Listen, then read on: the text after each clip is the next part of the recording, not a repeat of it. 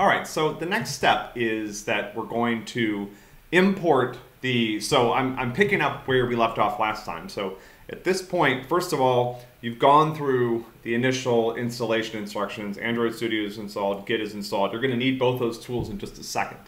I've also accepted the GitHub Classroom invitation, so I have my own copy of the sources for the MP. One thing I'm going to point out is that if you're choosing to collaborate, that's great, but both of you still need to submit all of the MP checkpoints to uh, individually, excuse me, right? So there's no joint submission. You and your partner are welcome to work together and talk about what you're doing, but you must submit your code independently um, to earn credit. Okay, so here I am. I'm on the page that I arrived at after accepting the invitation. I accepted the GitHub Classroom invitation, I refreshed the page, I ended up here, this is the code, right? I've also started up uh, Android Studio, and this is what the splash screen looks like at this point with the latest version. This is uh, 2020.3.1. Um, okay, so now what's next, right? So what I'm gonna do is I'm gonna go here and I'm gonna go to code, and there may be several different links that you can use here. So there's HTTPS, there's SSH, uh, I'm going to use this SSH link. You probably want to use the HTTPS link. Now you want to copy this link, okay? Do not click on open in GitHub desktop and do not click on download zip. These are not how we're going to do it and these will lead to you having an incorrect setup that'll make it impossible for you to submit your work. Um, so in my case, you probably want to use this HTTPS link. In my case, I'm going to use this SSH link. I'm going to hit copy and then I'm going to go to Android Studio. I'm going to click on get from VCS. Okay, and I paste this um, this URL in here. It's going to ask me where I want to put things. I'm going to change this to uh, to my CS124 directory. You can put this anywhere on your computer. Um, the version control is going to be Git, um, and you also so this is going to work for me. If you're doing this for the first time and you've just installed Android Studio, you probably need to configure it so that it can access your GitHub account, which may involve adding a password or setting up some other type of authentication. Uh, and there's good instructions for how to do that online. Okay, I'm gonna hit clone, and oh, wow, the cat just showed up. Um, all right, so, so I wanna trust this project, right? I'm gonna hit trust project. Um, we're, we're, not gonna attack your computer. Um, all right, so initially, things look pretty broken. Um, and you know you can install this plugin if you want to see this more nicely formatted. This is a format called Markdown. This is just the README that uh, you see nicely formatted on, on, I'll maximize this. Now what's happening down here, and, and this is a little confusing because when you load this, you might start trying to click around and think, think that things are broken or whatever. But what's happening down here is that um, there's a tool that's running called Gradle that is accessing the files and the variety of uh, different um, source code and other libraries that are needed in order to support the project. So until this goes down here goes away, um, you know, we're actually not ready to go. Um, and, and actually you can still see over here, there's the syncing thing. Um, so I'm, you know, you can wait this out for a few minutes, particularly if you're on a slow internet connection. This might take a while. Um, if you are overseas, you may run into problems at this point. You may need to turn on the Illinois VPN, or you may need to configure Android Studio to access some of the source code that you need to use from, from different places. And we can help you with that on the forum if you ask for it. Um, we'll walk you through whatever you need to do to, to get this set up properly. Um, okay, so I'm going to go over here. I'm going to open the project. This is what's called the project view.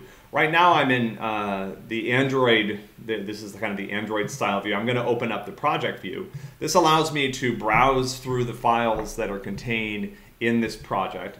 Make this a little smaller. Um, I can close the README. Um, and most of the code that we're going to be working on is here in this app directory. Um, so if you go in here, you see app source. There's a couple of different folders here. We'll go through this all later. Uh, but this is the kind of the thing that you should see when you're getting started. Now, if you click on Run App, you will need to configure an emulator. And uh, again, this is another part of the getting started process that was covered in one of the previous installation um, manuals. Um, you can run your Android code, uh, the starter code that we provide on, on an actual device. I can show you what that's going to look like. Um, this is going to take a few minutes to, to start, particularly if you're on a slower machine. Uh, it takes a few minutes even on my machine, which is pretty powerful. Um, and you'll see now I've got this emulated phone that's in this nice window right here. And eventually what's happening, and again, this is slow. There's a certain patience that you're going to have to acquire when you work with Android Studio. Um, it's building an entire Android app containing the starter code that we provided, and it's going to install the app on this emulated device and then start it. But you'll see down here in the corner, it says Gradle build running. There's still something happening. So, you know, one of the things to get used to with Android Studio right away is the fact that it can be slow. Uh, there's, you know, you're building an entire Android app. That's not a necessarily a fast process. So down here you can see what's happening. Now I'm installing the app um, and then it's going to be launched, right? So now you'll see it starts up and what I expect to see is a list of restaurants in some random order uh, and a search bar at the top, right? So that, that's pretty cool. Let's stop that. Um, something else that we can do that, that should work uh, right away and something that you'll probably be, be interested in trying is we can try to grade the assignment. Now, the official grading process requires that you push your code to GitHub, and we will have a tutorial about how to do that uh, tomorrow. Um, but right now, when you run the grading step, I want to make something very clear. This runs on your machine, and it is not an official grade. All it does is it runs the same test that we run when we grade your code for your actual score, but it runs on your machine and it uses your tests. And so, you know, we don't trust. Them. So this is a way of estimating your score at any given point. So let's run that and see what happens.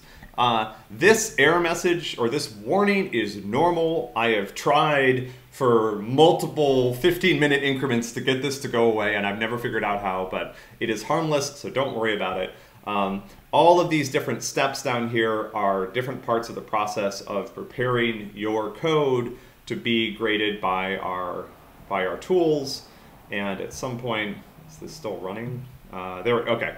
So this this failed. Now, why did it fail? So one of the things that we're going to learn together uh, when we start using Android Studio is how to read the output from Android Studio together. And this can be tough because there's quite a bit here. There's some things that failed and things like that, but the real problem uh, is right here. It says invalid number of collaborators and identification file.